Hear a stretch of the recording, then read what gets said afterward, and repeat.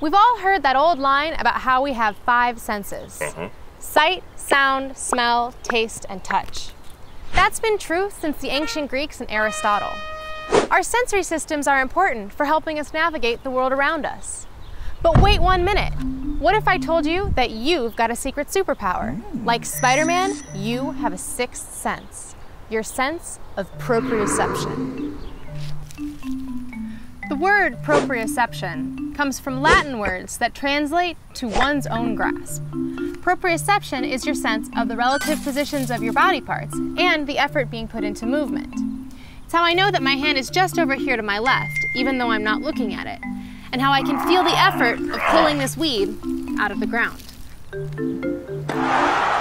When I put it that way, it probably seems obvious that you have this sense, right? Duh. How else would you be able to catch a ball when it's tossed to you and know exactly how much effort your catch would take? Yeah. But it turns out that this is a pretty complex sensory system, and we're still learning how it works. Oh. It all began in 1906 with a man named Charles Scott Sherrington.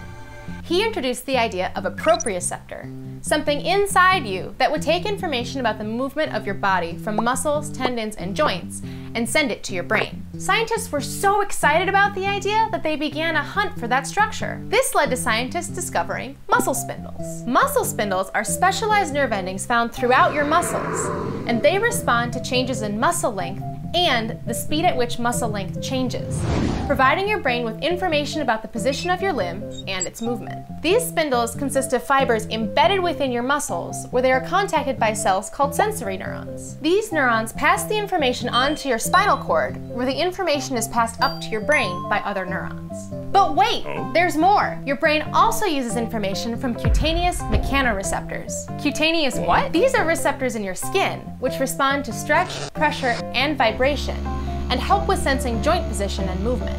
Another helpful structure includes Golgi tendon organs, which are located in your tendons. These guys convey details about muscle tension, which translates to your sense of exertion. Finally, information also comes from the vestibular system of your inner ear, providing details about your spatial orientation and balance. Okay, so we have all of these structures shooting information to our brain. But how do we make sense of it? Yeah. We're still learning about how the brain processes all of this input, we know that a lot of the information goes to the cerebellum, Sarah, who? the piece of your brain that looks a bit like a pile of spaghetti. Oh. The cerebellum is very important for regulating movement and balance, especially when it comes to coordination and precise timing of movements. Scientists believe that your brain combines this input directly from your limbs with other sources of information, like your visual perception of your body and the space around you. Put it all together, and you've got proprioception, baby. So, why is it important for us to understand proprioception? Well, it's obviously pretty essential for everyday life. Because of proprioception, we can move without looking. Imagine being in a dark room.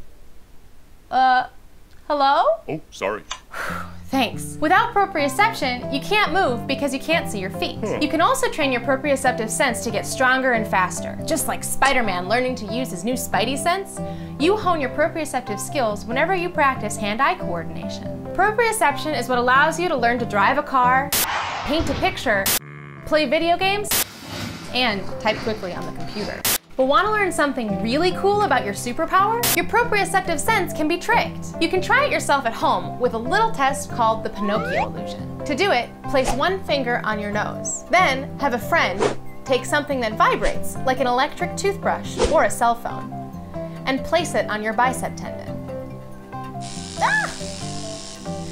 The vibrating sensation will trick your muscle spindles into thinking they're stretching out, making it feel like your arm is moving away from your face. Since you're still touching your nose, those signals tell your brain that your nose must be growing. Thank you, friend.